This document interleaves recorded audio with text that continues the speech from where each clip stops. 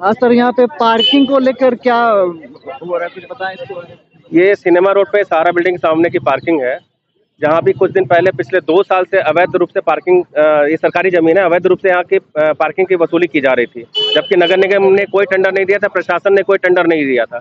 हम लोग की शिकायत के बाद, वो मनमाना कर हम लोग की शिकायत के बाद नगर आयुक्त ने इसको बंद कराया।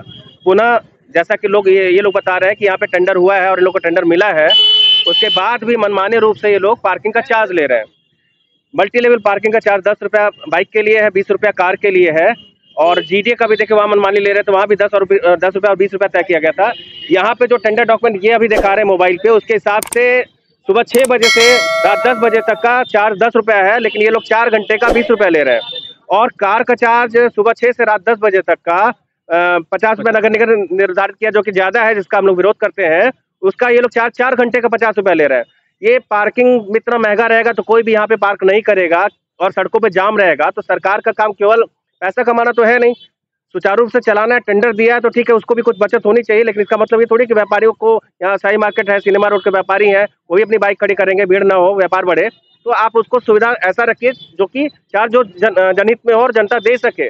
ऐसा चार्ज मत रखिए जो हम लोग पेमेंट ही ना कर पाए और हम पार्किंग में खड़ी ना करें। ग्राहक आएगा नहीं पार्किंग करेगा नहीं, वैसे ही जाम लगा रहता है, रोड चौड़ी है नहीं। सरकार ने किसी तरह अगर प्रशासन ने व्यवस्था किया है तो उसका रेट भी सुचारू रूप से उसको सही कराया जाए। मल्टी लेवल पार्किंग का, मैं जिलाध्यक्ष हूँ गोरखपुर उद्योग व्यापार एसोसिएशन का, तीन साल में लगातार कई मीटिंग्स हुए कमिश्नर से लेके जीडीएस अध्यक्ष से लेके मेयर से लेके, दैनिक जागरण प्रेस में सारे अधिकारी, प्रशासन, पुलिस प्रशासन, सबके साथ मीटिंग होने के बाद दस रुपया, बीस रुपया तय किया गया था।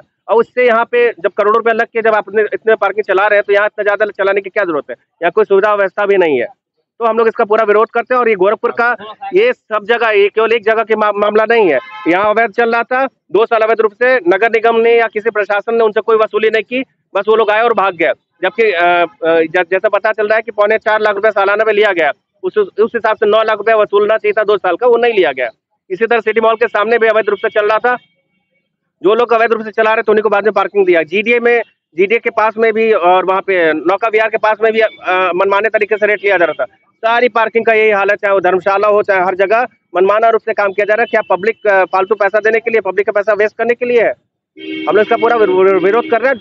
पार्किंग का शुल्क हर जगह पे जन्मिन होना चाहिए, ताकि पब्लिक भी आए, जो ग्राहक भी आए, वो पैसा दे के उस पार्किंग में खड़ा करे, ताकि जाम ना लगे। हम सब प्रशासन का हमेशा साथ देते हैं, लेकिन ये मनमाना कोई भी करेगा तो उसका हम लगातार विरोध करेंगे। और गोरखपुर में गुंडई पार्किंग वाले करेंगे तो नहीं चलने देंगे पहले भी कर रहे थे अभी भी शुरू कर दिए थे। गुंडई तो योगी जी की सरकार में अब कोई नहीं कर सकता है।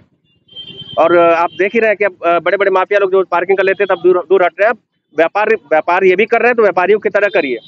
दादागिरी करके मत करिए और जन्मिन लीजिए। ये हमारे पास तो अभी तक कोई अधिकारी से बात हुई आपकी? बात हुई है मेयर साहब को हमने इसके बारे में बता दिया है नगर आयुक्त महोदय को भी और मेयर साहब को हम लोग पहले ही बता चुके एक दो दिन पहले भी बता दिए थे इस मामले में।